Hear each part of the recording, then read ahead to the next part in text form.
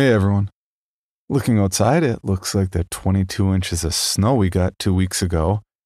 Sadly, that's not an exaggeration. It has finally melted, and if I'm not mistaken, that's actually spring I see. As such, it's time for a little bit of spring cleaning before we get to this week's episode. First up, stay tuned to the end of the episode for a special trailer from friend of the show, Midnight Disease Productions, the creators of Lake Clarity, for their new audio drama Aftershocks. Next, this episode is brought to you by Audible. Go to audible.com slash creepy or text creepy to 500500 to start your 30 day trial. That's right. Now you can just text C R E E P Y to 500 500 to start your trial. I swear it's like we're living in the future. Today's episode is also sponsored by Shudder. Brought to you by AMC Networks, Shudder is the ultimate streaming video service for horror fans. Home to the largest and fastest growing expert curated selection of provocative films, TV series, and originals. There's always something new and unexpected to explore. All this month, Shudder is celebrating halfway to Halloween with creepy collections to kick off the countdown to All Hallows Eve. Shudder is available for $4.99 a month or $49.99 with an annual membership. But our listeners get a free month by entering promo code BLOODY at checkout. That's B L O O D Y. There. We made it. Two quick ads and a mid roll later and a trailer after the episode. I know. I know. There are a lot of people out there that don't like hearing commercials in their podcasts. That's why all episodes are presented commercial free to Patreon supporters. Supporters like Deli Belly, Chiantis, Armin Astarte, Liz Burns, Ashley Avery, Stephanie Lee, Alyssa Dent, Shirley McMahon, Vanda, Ivy Wynn, and Michael M., who all get commercial free access to all episodes for as little as $1 a month. And the rewards only go up from there, including sticker sets, bonus episodes, and personalized narrations. That's the give and take. We're really lucky to get the chance to run commercials at all. It means people are listening. And I love that you're listening. But I also really like that I can pay people who work so hard to make this show what it is. So if you'd like to hear commercial-free episodes and get even more, check out patreon.com slash creepypod. And now.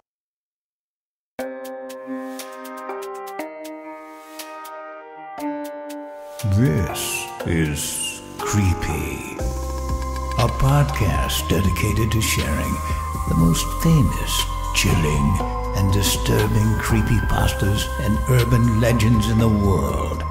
Whether these stories truly happened or are simply fabrications is for you to decide. These stories may contain graphic depictions of violence and explicit language. Listener discretion is advised.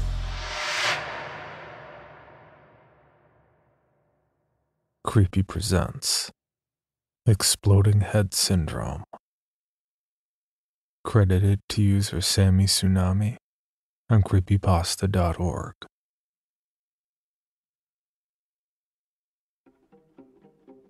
Identifying Exploding Head Syndrome, EHS. An uncommon phenomenon that causes a person, usually female, to suffer from sudden, loud, and unexplainable noises right on the verge of sleep. Noises which are jarring and can sound like the popping of fireworks, gunshots, the bang of slamming doors, and even loud explosions. In some cases, violent screaming or sobbing is heard. The most exceptional thing to note about the sleep disorder that is EHS is that noises do not always occur within the head. Sounds are out of body and can be heard anywhere up to a block away by both ears. Although very little is known, psychiatrists speculate that EHS occurs when certain synapses in the brain fire off rather than settle down. What synapses and why, however, is still unknown. No one has proven this theory to be true, however, and doctors aren't even sure where to begin looking, let alone find an actual cure or remedy.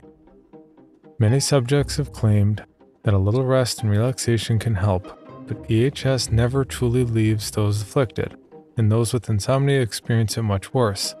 some claiming to see flashes of light, even short bursts of unexplainable pain, along with noises.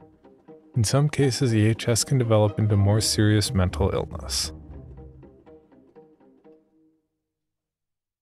When I was a kid, maybe 10 or 11 years old, I began hearing things right at the verge of sleep. You know that point I'm talking about, where you're still semi conscious and things are fuzzy, but you're aware? That state.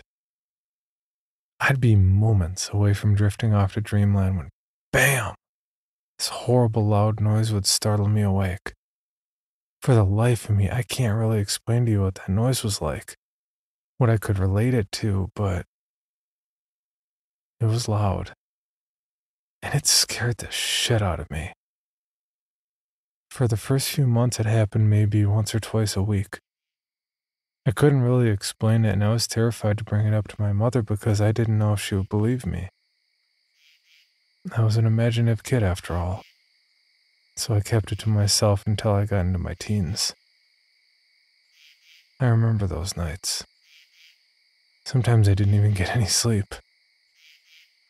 Time after time, just as my exhausted brain would begin to drift, bam!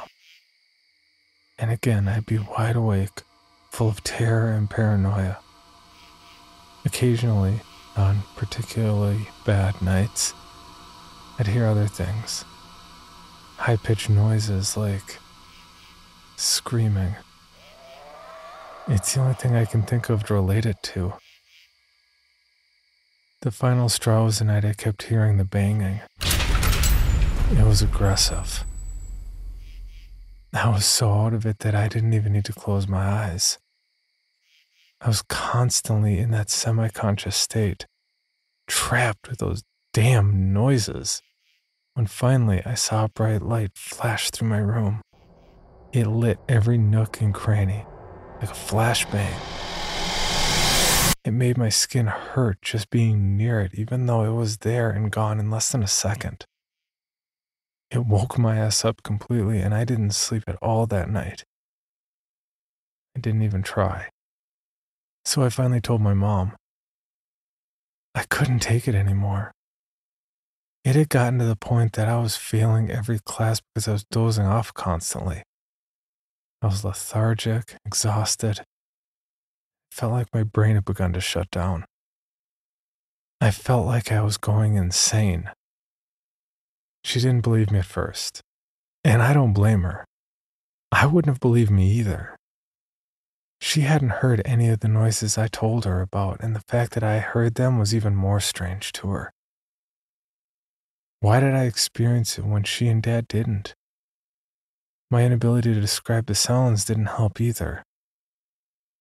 It took some coaxing, a little bringing up of grades, and finally she agreed to take me to a psychiatrist for a mental evaluation. Not exactly what I was hoping for, but then again, who else to go to but a psych doctor? After a few tests, a few more weeks, and countless sleepless nights, they still had nothing but a hunch as to what my problem was. They guessed it was a rare form of synesthesia, the abnormality that causes senses in the brain to fuse together. They assumed that this is why I was seeing and hearing things at the same time. But because I only had one occurrence of that and because of my condition, they needed to do more intensive tests the kind that even our insurance didn't cover. My mother rejected the offer immediately, even when they offered to cut the bill since I was a bit of an abnormality. I still didn't blame her. I saw the cost after it had been cut, and it was far more than we could afford. So, as a last ditch effort to help me, they prescribed me a drug called Cernoxamil, or Serenu, as it was written in some fancy scribble on the bottle. But in order to do so, they had to go for their second theory as to what was wrong with me. They had diagnosed me with paranoid, delusional schizophrenia. Not something anyone wants to hear. especially at only 13 with the knowledge that they aren't crazy at all. Fortunately, the drug worked a little like perphenazine, an antipsychotic medication, and methylphenidate, ADHD medication. I know that sounds weird because they are exactly opposite of each other. One blocks dopamine, the other releases it. Apparently, the hat trick here was to try and regulate my brain. Seronou wasn't on the shelves yet and was still in testing, so I was a guinea pig. But at least it was free. And I could tell myself I wasn't actually taking antipsychotic medication. Not technically, at least. The first night with the medication brought me silence and dreamless sleep. Then the following night, and the one after that, and so on and so forth. It was wonderful. Sure, it made my head feel like a fuzzball most of the time, and the side effects weren't great, but I could sleep. It made the noises stop completely. I managed to pull my grades out of the gutter and even graduated at the top of my class five years later. I still thought about it though. The idea that I've been wrongfully diagnosed for all those years. It set me a little on edge if I thought about it for too long. I mean, it made the noises stop. But what was really wrong with me? After moving into my own apartment and putting college on hold for a while, I decided to do some investigating of my own. I couldn't exactly afford good mental health care, even with my insurance. So I went for the internet with my fingers crossed and hoped for the best. They say to never look a gift horse in the mouth. But I was only curious.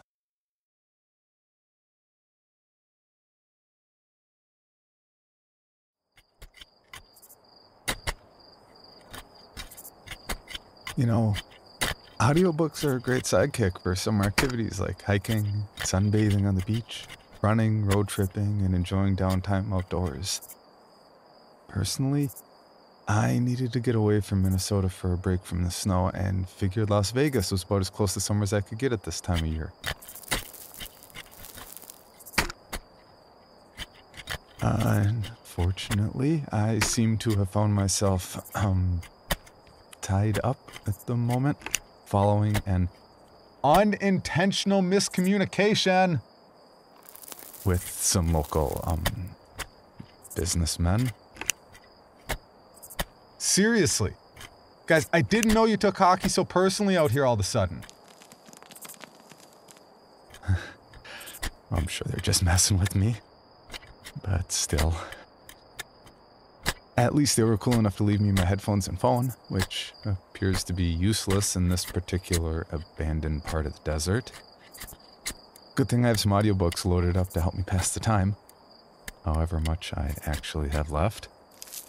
I was thinking I'd listen to Fear and Loathing in Las Vegas by Hunter S. Thompson and narrated by Ron McLarty. Maybe there's a tip in there for quick escapes.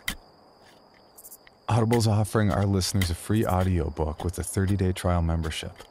Just go to audible.com slash creepy and browse the unmatched selection of audiobooks, original audio shows, news, comedy, and more. Download a title free and start listening. It's that easy. Go to audible.com slash C-R-E-E-P-Y or text C-R-E-E-P-Y to 500500 to get started today.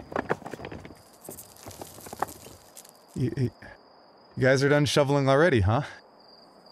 Uh, okay. Well, I, I gotta go, everyone. I'll let you know how it goes. Don't worry. I've read enough creepy pastas to know that something mildly unexpected and totally inappropriate's about to happen. See? Told you. Now about these knots.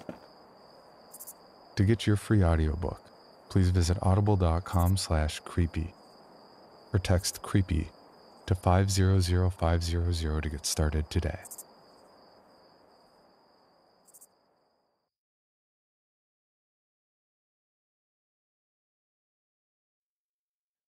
I managed to find a medical site with a recently posted blog about a sleep disorder called exploding head syndrome, or just EHS. All I had done was type in my symptoms, and there it was. Everything matched up perfectly. The only problem? No one really knew what it was. They knew the symptoms and narrowed it down to the time of the phenomenon in the brain, but nothing else. It was a completely new topic in the medical field, despite the claim that had been documented for ages.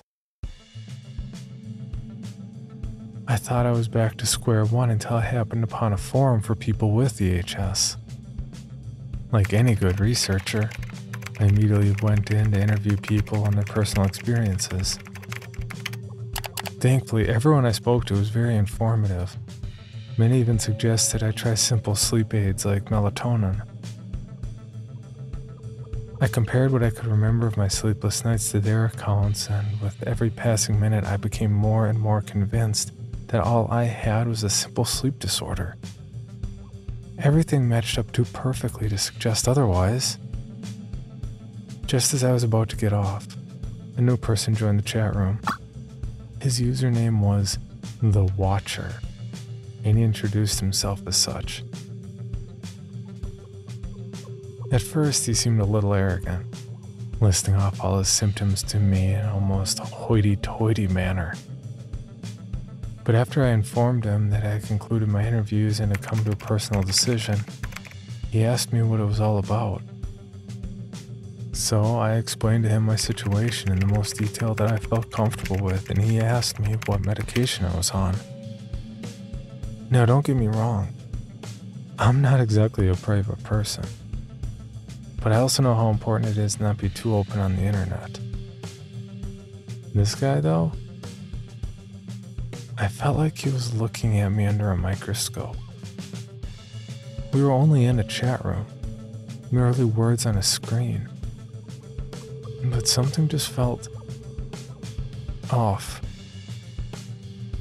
Despite my better judgment, I told him about Serono.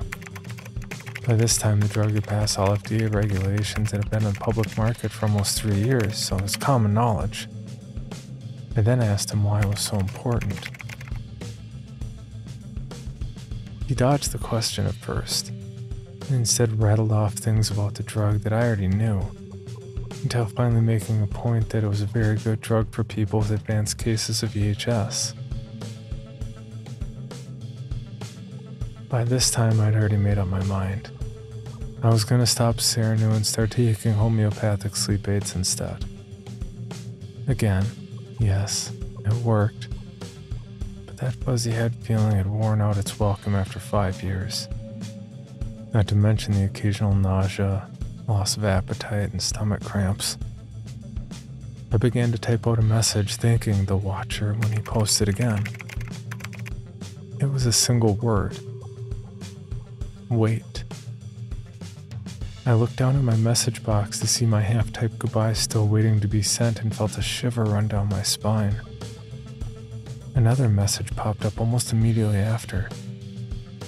Don't go yet. Please, this is very important. I instinctively checked my security programs and saw nothing.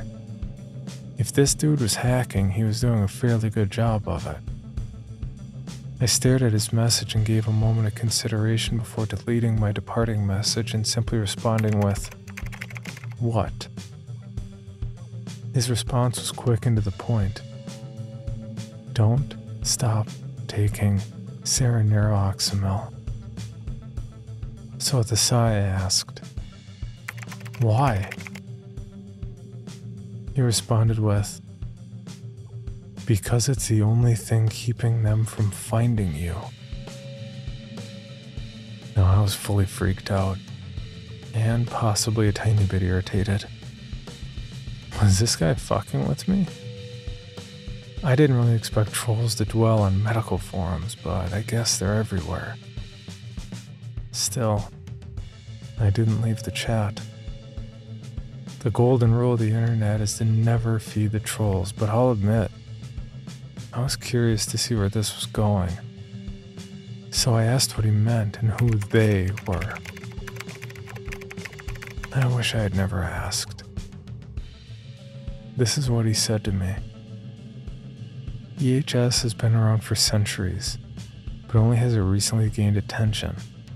The reason? More people have it. And why do more people have it? Because they're getting hungrier. They're becoming gluttonous and greedy, so they're marking more and more people for the feast. Those sounds you heard? It's simple.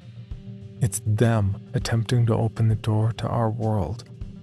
Those sounds are echoes of their dimension slamming into ours. And only the unlucky hear the warning. The light you saw? That's the door being yanked open. But if you wake in time, the door will close. That's why it only appears in a flash. The final warning is pain. You mentioned feeling your skin burn, but that was only a side effect of being so close to the door opening. No, the real pain felt by those with EHS is much worse. It's a rending of flesh from bone. It's their claws digging deep into your skin. But again, if you manage to wake in time, it'll stop. Unfortunately, there will be no proof of them ever touching you. Not a single mark on your body, as if it never happened. The reason I beg you not to stop your medication is because it's the only thing keeping them from finding you.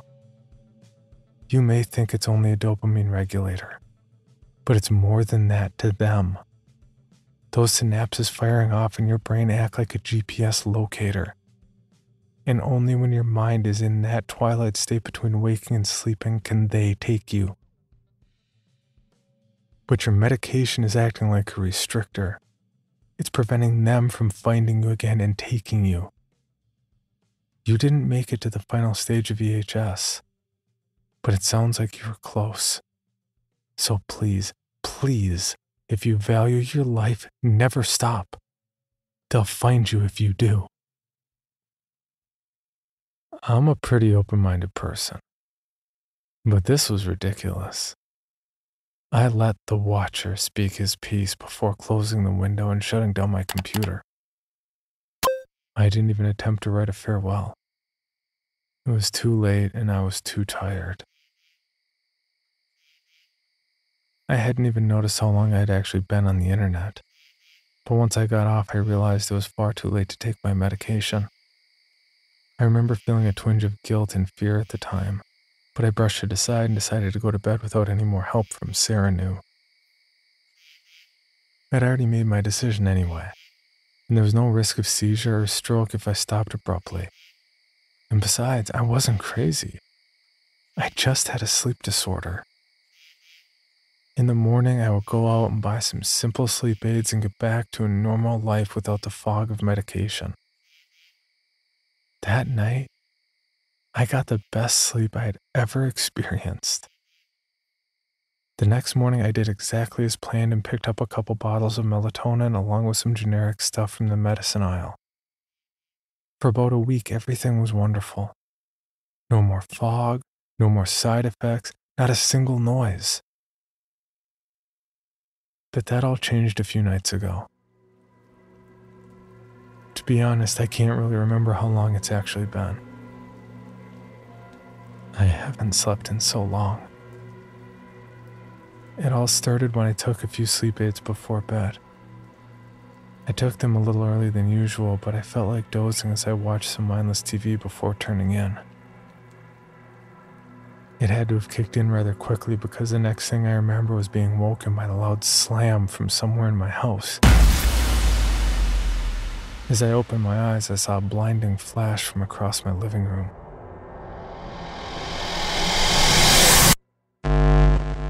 In an instant, I lost power and everything in my home went completely dark. All I could see was that damn after image of the flash in pitch darkness.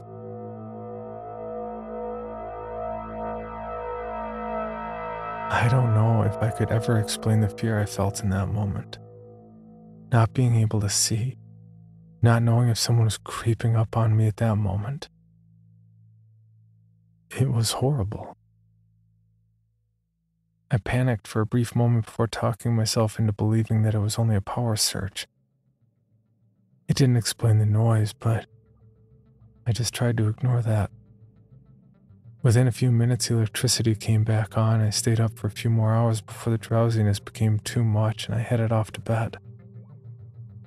I was nearly asleep when it happened again, flash and all, in my dark room. By the time the sun had risen the next morning, it had happened maybe five or six more times, and I hadn't gotten any sleep. It happened again the next night, and the next. I'm taking caffeine pills now instead. I'm scared to fall asleep, but I can feel myself slipping. These past few hours, I've been jarred into consciousness by this horrible pain in my legs. And there's this new noise. It comes in intervals. I think it's saying my name. I can't be sure but I assume that's what it is. I can't help but think of the Watcher's warning. I should have listened. I can't even remember where my Serenu is now. But I've got this feeling that it's too late anyway. They've already found me.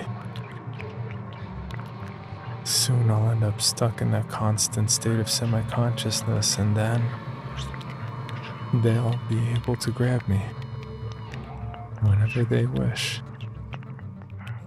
I would imagine they've worked up quite an appetite trying to get to me. The only thing keeping me awake now is focusing on writing this. I'm not sure what it's supposed to do. A memoir, maybe, a warning. Let's call it a word of advice.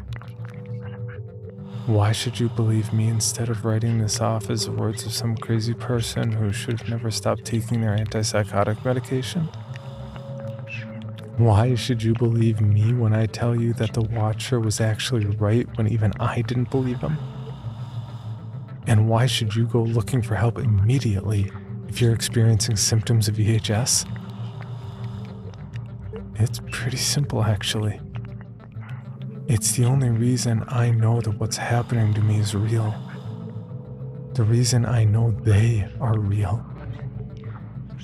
It's the reason my mother refused to believe me at first and why the psychiatrist insisted on further testing. It should be physically impossible for me to experience the symptoms of EHS. I shouldn't be able to hear the things I do. The loud noises, the high pitched noises, the noises that sound like they could be calling my name. Even now, as I write this, I can hear it. I hear them. But I shouldn't be able to hear any of it. I was born deaf.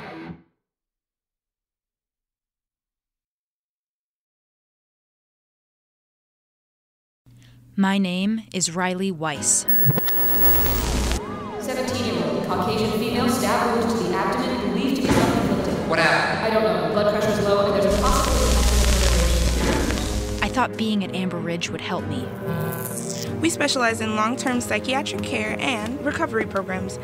Our goal for all of our patients is to help them on their own journey of recovery. But I never imagined the secrets I'd uncover. I don't know. Maybe it's true. You know the stories. What stories? The place burned to the ground, killing everyone inside nurses, doctors, patients, everyone. Riley?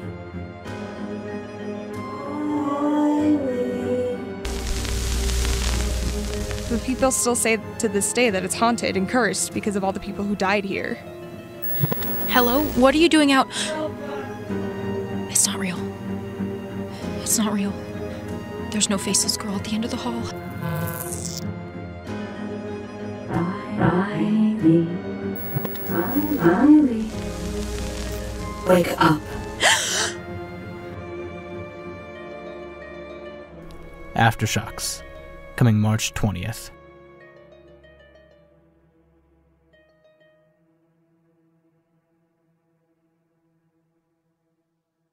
For more information, including pictures and videos of the stories told on this podcast, or to suggest stories for future episodes, please visit us at CreepyPod on Twitter, Instagram, and Facebook, or email us at creepypod at gmail.com. All stories told on this podcast can be found at creepypastawikia.com and are protected by a Creative Commons license. Some rights reserved unless otherwise stated.